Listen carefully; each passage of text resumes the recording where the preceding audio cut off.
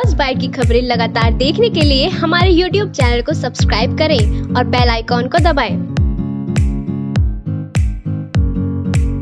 इस खबर के प्रायोजक है M I preferred partner teens gallery shop number तीन एस टू एस एक्सपायर गढ़ रोड मेरठ पूरे देश में कोरोना को लेकर चिंता का विषय बना हुआ है और पूरा देश इससे लॉकडाउन है, लेकिन अभी भी कुछ लोग अपनी आदतों से बाज नहीं आ रहे दरअसल मामला थाना खरकौदा क्षेत्र के गाँव कैली का है, जहाँ नए गाँव निवासी के दो युवक जोगीपुरा गाँव से ज़िंदा मुर्गा खरीद कर ला रहे थे। रास्ते में कैली ग्राम प्रधान ने उन्हें रेलवे फाटक के पास रोका और उनकी तलाशी ली। तलाशी के दौरान उनके पास ज़िंदा मुर्गा निकलने पर ग्राम प्रधान ने दोनों युवकों को सरे राह पर मुर्गा बनाकर डंडे से पिटाई की और उन्हें बेइज्जत भी किया। इसके बाद उनकी वीडियो बनाकर सोशल मीडिया पर वायरल कर दिया। ज़्यादा तो दुखेंगी अभी। जब तुमसे सुबेरी मने करी ही क्यों गए है? बोलता क्यों ना है? तो क्यों गए फिर? सुबेरी मने कर दी जब तुमसे? और देख के भगे क्यों फिर?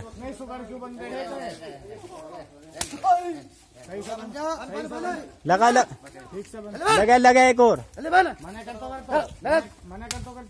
रही है? बना रहा बना रहा बना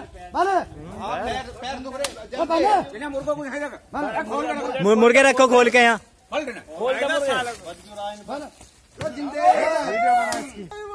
उठिए मत ना। क्यों उठ ना मुर्गा। मुर्गे पकड़ रहे साले सुबह मना करी। इन्हें पकड़ रहे फिर रहे हो? मना ना करते तो बात दूसरी मना कर रहे चक्कमा देख के निकल रहे। वीडियो वायरल होने पर खरगोदा पुलिस ने दोनों पक्षों पर लॉकडाउन उल्लंघन का मामला दर्ज किया। आइए देखते हैं क्या बता रहे हैं सीओ किठौर। गाँव प्रधान का एक मामला जो तुगला फरमान जारी किया है मुर्गा बना के मारा है एक युवक को पिटाई की है वो वीडियो वीडियो वायरल हो रहा है क्या पूरा मामला ये कैली गाँव के दो लड़के मुर्गा लेकर के आ रहे थे तो ग्राम प्रधान के साथ और कुछ लोगों ने उनको फिर पकड़ा कहा कि तुम लॉकडाउन का उल्लंघन कर रहे हो उल्लंघन कर रहे हो। इसमें उनके साथ पिटाई भी किया, उसको मुर्गा बनाया गया था। इसमें दो मुकदमा पंजीकृत किए गए हैं, एक तो लॉकडाउन के उल्लंघन का और दूसरा जो जिन लड़कों को मुर्गा बनाया गया जिसके साथ मारपीट की उनके तहरीर पर एस का।